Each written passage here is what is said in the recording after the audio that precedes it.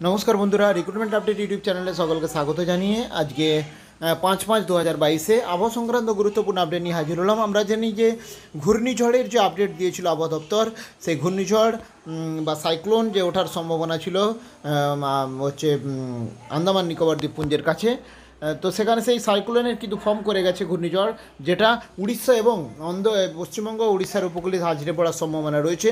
এবার কতটা নিম্নচাপটা প্রভাবিত হবে বা কতটা পরিণত হবে, কতটা ঝড়ের গতি থাকবে সেটা পরে পরে ঠিক জানা যাবে। তো সেই নিম্নচাপের আপনারা লাইভ আপডেট দেখতে পাচ্ছেন, যে ঘূর্ণিঝড় যেটা একদম আন্দামান নিকোবর দ্বীপপুঞ্জের কাছে। ভালো করে দেখুন, কোথায় অবস্থান করছে কেন্দ্রটা? মালাক্কা। ননকয়, মালাক্কা ননকয়ের, ননক্রয়ের কাছে অবস্থান করছে কাম্বেল বের কাছেও অবস্থান করছে সেই নিম্নচাপ ক্ষেত্র। দেখতে পাচ্ছেন আপনারা তো বঙ্গোপসাগরে যে দক্ষিণ দিকে আন্দামান, নিকোবর দ্বীপপুঞ্জের কাছে অবস্থান করছে নিম্নচাপ এবং এই সেটা আস্তে আস্তে পরিণত লাভ করছে আপনারা সেই লাইভ আপডেট আপনারা দেখতে পাচ্ছেন এই, সেই নিম্নচাপের ক্ষেত্র এবং এটা আস্তে আস্তে উত্তর এবং পূর্ব দিকে, উত্তর দিকে সরে যাবে, উত্তর গিয়ে উত্তর উড়িষ্যা এবং পশ্চিমবঙ্গের উপকূলে আছড়ে পড়ার সম্ভাবনা রয়েছে, এরকমই আবহাওয়াবিদরা জানিয়েছেন। আমরা যদি একটু প্রিডিকশন করি তো দেখে নেব। আজকের পর আগামীকাল আরও একটু উত্তর পশ্চিমে উত্তর থাকবে। ছ তারিখেও একইভাবে থাকবে। আন্দামান নিকোবর দ্বীপপুঞ্জের কাছেই থাকবে। সাত তারিখে আর একটু উত্তর দিকে সরে যাবে। সাত তারিখেও অবস্থান করছে।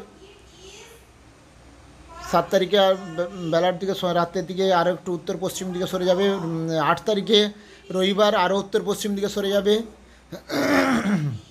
সরি আট তারিখে একদম উপকূলের কাছাকাছি চলে আসবে। এ, ন তারিখে, ন তারিখটা একদম পুরো মাঝ সমুদ্রের এই বঙ্গোপসাগরের মানে অন্ধ্রপ্রদেশের পূর্ব উপকূলে বা উড়িষ্যার পূর্ব উপকূলের কাছাকাছি অবস্থান করবে।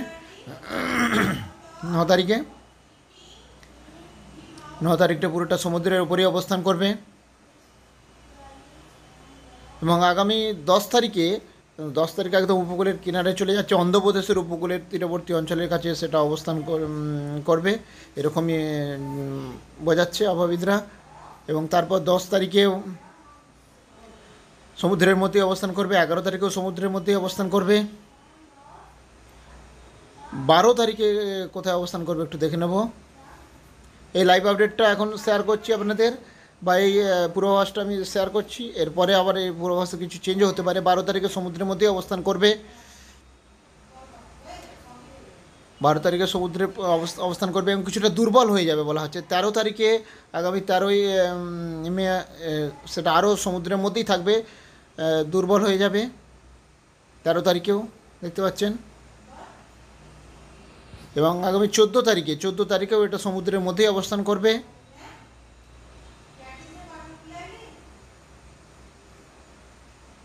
তো এইভাবে যেটা বলা হচ্ছে যে চোদ্দ তারিখেও সমুদ্রের মধ্যে অবস্থান করবে, এটা বলা হচ্ছে।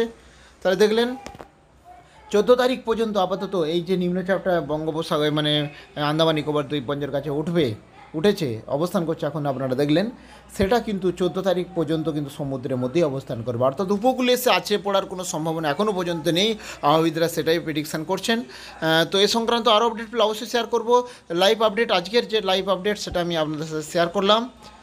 লাইভ আপডেট যেটা আজকের আপনাদের পাঁচ তারিখে, এখন যেটা অবস্থান করছে পাঁচ তারিখে।